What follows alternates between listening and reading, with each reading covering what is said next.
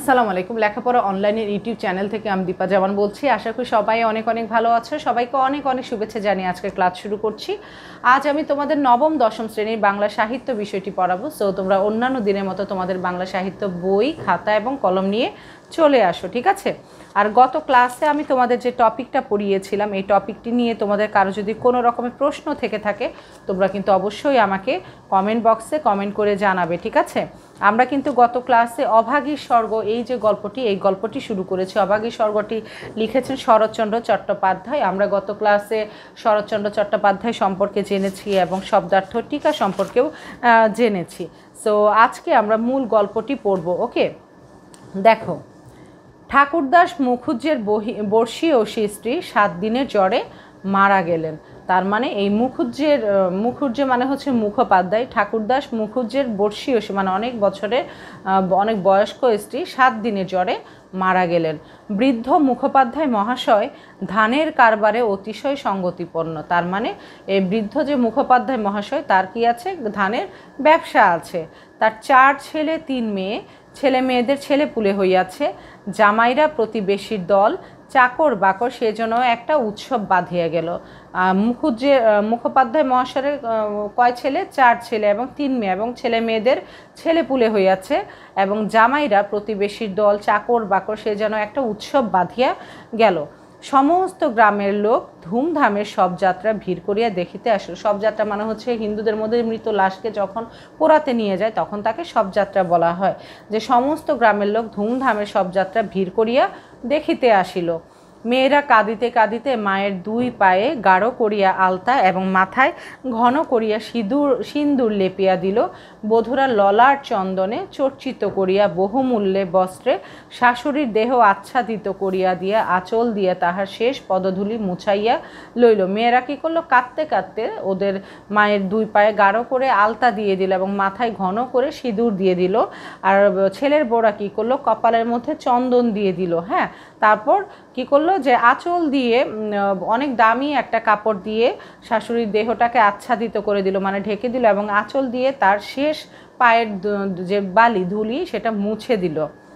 পুষ্পে পত্রে গন্ধে মারলে কলরবে মনে হইল না এ কোনো শোকের ব্যাপার। এ যেন বড় বাড়ির গৃহিণী পঞ্চাশ বর্ষ পরে আর একবার নূতন করিয়া তাহার স্বামী গৃহে যাত্রা করিতেছেন। মানে এত ফুল, এত গন্ধ, এত মালা, এত কোলাহল, মনে হচ্ছে যে এটা আরেকটা বিয়ে বাড়ি। এখানে হয়তো পঞ্চাশ বছরের কোনো মেয়ে কি করছে, তার স্বামীর ঘরে নতুন করে যাচ্ছে।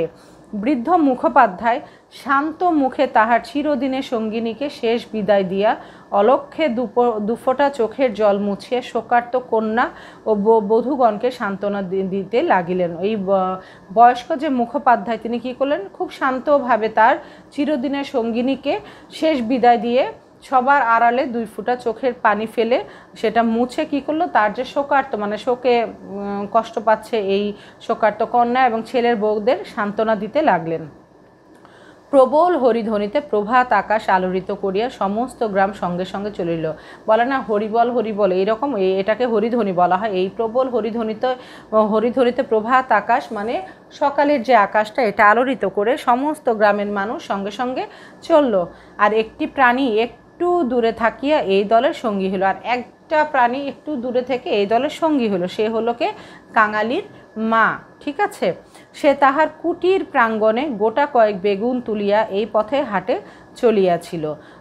এই দৃশ্য দেখি আর নড়িতে পারিল না। সে হচ্ছে সে হচ্ছে কাঙালির মা। সে কিছু বেগুন তুলে হাটে চলছিল, কিন্তু এই দৃশ্য দেখে সে আর নাড়াচাড়া করতে পারল না। রহিল তাহার হাটে যাওয়া, রহিল তাহার আঁচলে বেগুন বাঁধা। সে চোখের জল মুছিতে মুছিতে সকলের পেছনে শ্মশানে আসে উপস্থিত হইল। কাঙালির মা কী করল? আর হাটেও গেল না, বেগুনও বিক্রি করতে গেল না। সে নিজের চোখের পানি মুছতে মুছতে সবার পিছনে শ্মশানে এসে উপস্থিত হইল।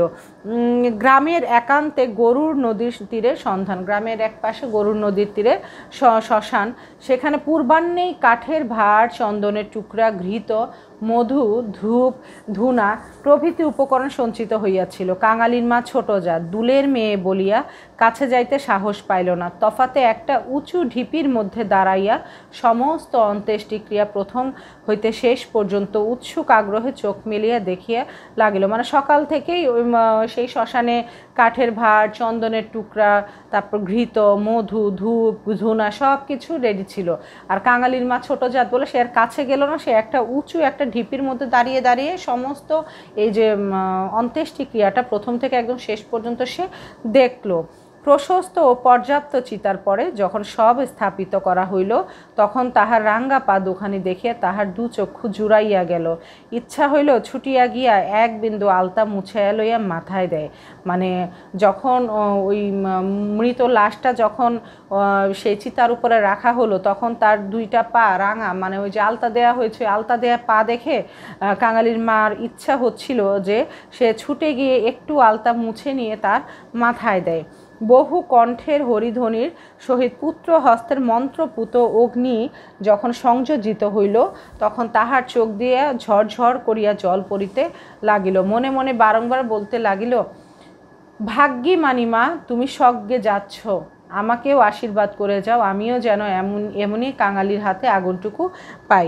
মানে তখন তো হরিধ্বনির একটা শব্দ হচ্ছিল, সবাই হরিধ্বনি করছিল এবং এগুলো দেখে এবং, তার চোখ দিয়ে ঝরঝর করে পানি পড়ছিল এবং সে মনে মনে বারবার বলছিল যে, তুমি অনেক ভাগ্যবতী মা, তুমি স্বর্গে যাচ্ছ, আমাকেও আশীর্বাদ করো, আমিও যেন এমনি কাঙালির হাতে আগুনটুকু পাই। ছেলের হাতের আগুন সে তো সোজা কথা নয়। মানে ছেলের হাতে আগুন পাচ্ছে, সে তো সোজা কথা নয়।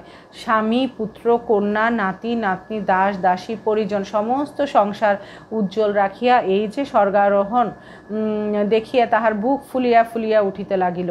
এই সৌভাগ্যের সে যেন আর ইয়ত্তা করিতে পারিল না। যে এটা তো অনেক বড় একটা ব্যাপার যে সে তার স্বামী, সন্তান, পুত্র, কন্যা, নাতি, নাতনি, দাস, দাসী সবাইকে, পরিজন, সমস্ত সংসারকে উজ্জ্বল রেখে সে স্বর্গে যাচ্ছে।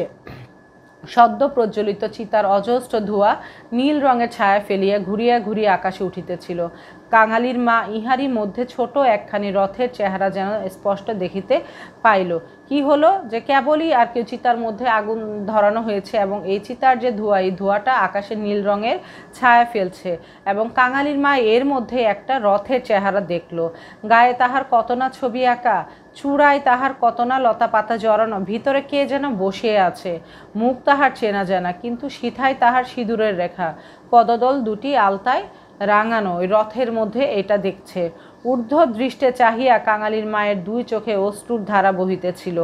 এমন সময়ে একটি বছর চোদ্দ পনেরোর ছেলে তাহার আঁচলে টান দিয়া কহিল, হেথায় তুই দাঁড়িয়ে আছিস মা? ভাত রাতবিনে মানে ঠিক এই সময়ই চোদ্দ, পনেরো বছরের এক ছেলে তার আঁচলে টান দিয়ে বলল যে, এখানে তুমি দাঁড়িয়ে, তুই দাঁড়িয়ে আছিস মা, ভাত রাত বিনে ঠিক আছে? তাহলে আমরা আজকে কি পড়লাম বলো? আমরা পড়লাম যে যে ঠাকুর মুখ, মুখোপাধ্যায় মহাশয়ের বয়স্ক স্ত্রী মারা গিয়েছে এবং তার বাড়িতে তার আত্মীয় স্বজন, পাড়া প্রতিবেশী সবাই এসেছে। আর তার স্ত্রীকে তার মেয়েরা এবং তার ছেলের বউরা খুব সুন্দর করে সাজিয়ে দিচ্ছে। মনে হচ্ছে যে, তার যেন নতুন করে সে যেন তার স্বামীর বাড়িতে যাচ্ছে। এরকম মনে হচ্ছে। মনে হচ্ছে ওই বাড়িতে কোনো মৃত বাড়ি না, ওই বাড়িটা কোনো উৎসব মুখর একটা বাড়ি। এত আয়োজন ছিল সেই বাড়িতে এবং কাঙালির মা সেগুলো দেখছিল যখন সবটা নিয়ে যাচ্ছিল চিতার মধ্যে, তখন কাঙালির মা দূর থেকে দেখছিল, কারণ কাঙালির মা ছোট জাতের, সে সাহস করতে পারছিল না সেই সবের কাছে যেতে।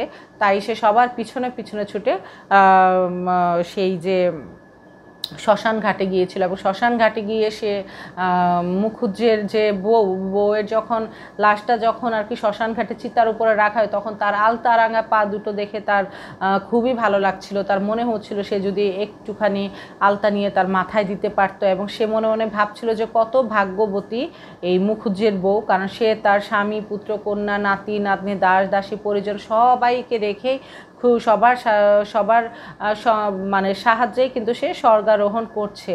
এবং সেও মনে মনে বলছিল যে, আমার জন্য আশীর্বাদ করো, আমিও যেন আমার কাঙালির হাতের আগুনটুকু পাই। ছেলের হাতের আগুনে তো সৌভাগ্যের বিষয় সে বলছিল, ঠিক আছে?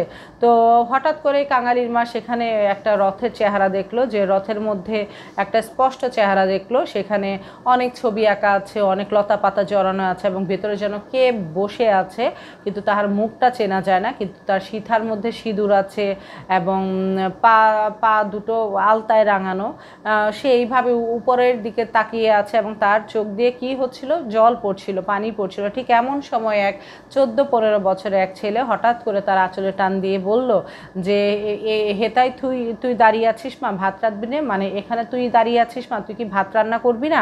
ঠিক আছে, এটাই হচ্ছে মূলত আজকের যে অংশটুকু পড়ালাম, এই অংশটুকু। তোমরা যেটা করবে, তোমরা বাসায় এইটুকু অংশই খুব ভালোভাবে প্র্যাকটিস করবে, প্রত্যেকটা লাইন বুঝে বুঝে স্টাডি করবে। আর আমাদের লেখাপড়া অনলাইনের ইউটিউব চ্যানেলটি তোমরা সাবস্ক্রাইব করবে বেল বাটন ক্লিক করবে লাইক এবং শেয়ার করবে। তোমাদের যত পরিচিত বন্ধু, বান্ধব, আত্মীয় স্বজন আছে, সবাইকে বেশি বেশি ইনভাইটেশন পাঠাবে। ইনশাল্লাহ আগামী ক্লাসে তোমাদের সঙ্গে আমার দেখা হচ্ছে। সেই পর্যন্ত সবাই ভালো থেকো। সবাইকে অনেক অনেক ধন্যবাদ। আল্লাহ হাফেজ। আসসালামু আলাইকুম।